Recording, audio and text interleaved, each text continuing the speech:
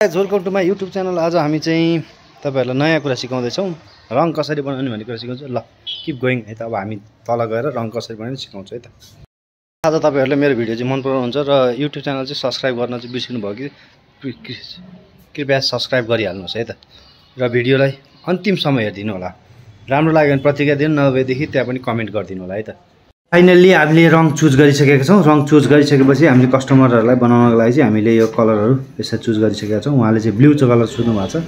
र सर्वप्रथम म चाहिँ यहाँ कम्प्युटरमा यो मेरो आफ्नै ल्यापटपबाट चाहिँ युज गर्छु। अहिले डिजिटल युगमा चाहिँ अब यहाँ मैले प्रिजमा प्रो खोल्दैछु। प्रिजमा प्रोमा यो अब ओपन हुँदैछ।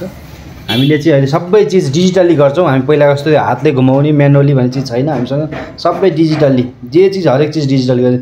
एक्काइस शताब्दी आधुनिक युग छ मनले जे जिताए त्यो पुग्छ भन्ने हिसाबले हामीले सबै डिजिटली काम गरिरहेको छौँ। तपाईँले देख्न सक्नुहुन्छ पिजमा प्रो पनि ओपन भइसकेको छ। हामी अब यसलाई सिलेक्ट गरेर ओके गर्छौँ। र यहाँ भन्छ हामीले इन्डिगो पेन्ट्स अहिले हामीले इन्डिगो पेन्ट्सको चलाइरहेको छौँ। इन्डिगो पेन्ट्सको बारेमा तपाईँलाई धेरै जानकारी दिनु छ भने पनि कृपया हाम्रो कमेन्ट गरेर लेख्न सक्नुहुन्छ। र हामीले यहाँ अब स्याड कोड हाल्दैछौँ।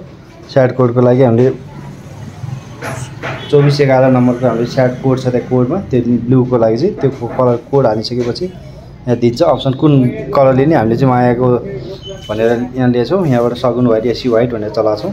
यसमा यहाँ पक्कै त देखिन्छ यहाँ। तपाईँले अलिक बुझ्न प्रष्ट बुझ्नु भएको छैन होला भने पनि कमेन्ट गर्नु। यसरी देखाइसकेपछि हामीले यसलाई यो सेलेक्ट गरेपछि ओके गर्छौँ। बाल्टिन ओके गरिसकेपछि यसरी यहाँ राख्छौँ। कति लिटरको हाल्ने कतिवटा बाल्टिन हाल्ने हामीले त्यहाँ म्यानु हामी अहिले चाहिँ हामीले तिनवटा बाल्टिनको लागि हामीले म्यानुअली गर्दैछौँ। तिनजना तिनवटा बाल्टिन तिनवटा बाल्टिनको लागि चाहिँ हामीले मेनु सेट गरिसकेका छौँ। र तपाईँले देख्न सक्नुहुन्छ यसरी सेट भइसकेको छ। सेट भइसकेपछि अब यहाँ जा राख भन्छ यसले डिस्पेन्ड गर्छ भन्छ। अब हामीले चाहिँ अब मैले यहाँ क्यामेरा समातेर बस्न सकिनँ त्यही भएर मैले स्ट्यान्ड राखिसकेको छु। अब तपाईँलाई हेर्न सक्नुहुन्छ यसरी यो स्ट्यान्ड राखिसकेपछि यसलाई अब हामीले तल यो राखेर अब पहिला बाल्टिन खोल्छौँ हामीले। बाल्टिन खोल्ने प्रयत्न छौँ।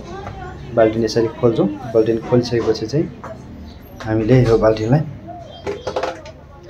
यसरी खोल्छौँ यो सबै हामीसँग वाइट छ है। तपाईँहरूलाई पनि चाहिन्छ भने सम्पर्क गरेर आउनु सक्नुहुन्छ। हामी होलसेल मूल्यमा मूल्यमा बिक्री गरिरहेको छौँ। हाम्रो पसलको नाम चाहिँ एसोसिएट दिप इन्भेस्टमेन्ट पाली तारकेश्वर एघार हिलेटोल दिपटोल भन्ने ठाउँमा हो। तपाईँले देख्न सक्नुहुन्छ मैले रङ हालिसकेँ। अब यसले डिस्पेन्स गर्छ हेर्नुहोस्। अब मेसिन अब यसले घोल्छ यसले घोलिसकेपछि हाम्रो सहकारी दिदी पनि आउनुभएको छ। उहाँहरूलाई पनि अब हामी सहकारीकोमा पनि बचत गर्नु पऱ्यो होइन। बचत गर्ने हिसाबले चाहिँ हामीले अब सहकारीको पनि हाल्दैछौँ उहाँलाई पासबुक दिएपछि उहाँले पनि आफ्नो काम गर्नुहुन्छ।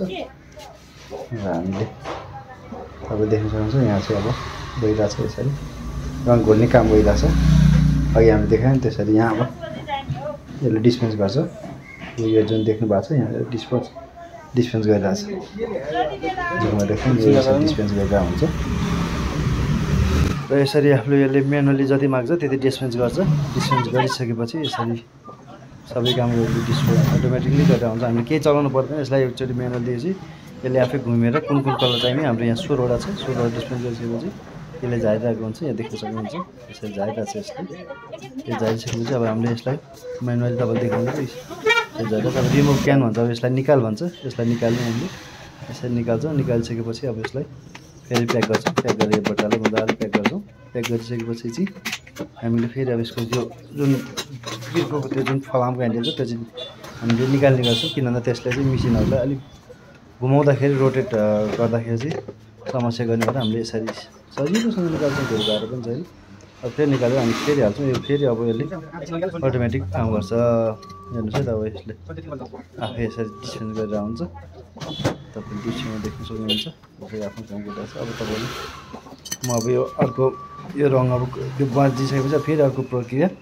यसमा लगेर हामीले यो मेसिनमा हाल्छौँ। यो मेसिनमा हालिसकेपछि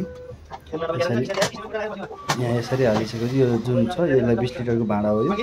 यसलाई चाहिँ हामीले यहाँ हाल्छौँ।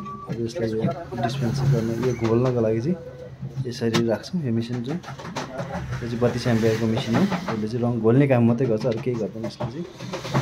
थ्री सिक्सटी डिग्रीमा घोल्छ घुम्ने काम गर्छ। हामीले यसलाई टाइमर सेट गर्छौँ हामीले अहिले यसलाई पाँच मिनटको टाइम सेट गरेर छौँ र अन गरेर चाहिँ यसले घुम्ने काम गरिसकेको छ। र अरूहरू पनि हामी यसरी अरू नै यसरी लिएर प्याक गर्छौँ। प्याक गरेर खोल्नको लागि हामी स्ट्यान्डलाई लाइनमा राख्छौँ। यसलाई पनि त्यहाँ क्युमा आउन राख्छौँ।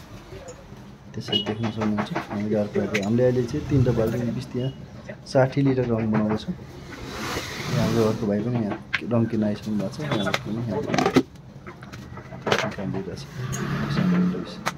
सक्नु भएको छ पनि तर पैसा दिन आउनुभएको यसलाई पनि हामीले यसरी हालिसक्यौँ अटोमेटिक होइन अब यो यसरी तपाईँलाई लाग्यो होला। कसरी घुम्छ ल हेर्नुहोस् है यसरी घुम्छ। यसरी फुल्लै घुमिरहेको छ फनाना घुमिरहेको छ यसले पनि। यसरी गइरहेको छ कृपया तपाईँहरूलाई चाहिँ भिडियो कस्तो लाग्यो? कृपया आफ्नो प्रतिक्रिया दिनु होला लाइक कमेन्ट र सेयर गरेर सब्सक्राइब पनि गरिदिनु होला कहाँदेखि हेर्नुहुन्छ ताकि मैले पनि तपाईँबाट कुनै सहयोग गर्नुपर्ने छ भने कुनै जानकारी छ भने मलाई पनि खबर गर्नु होला है।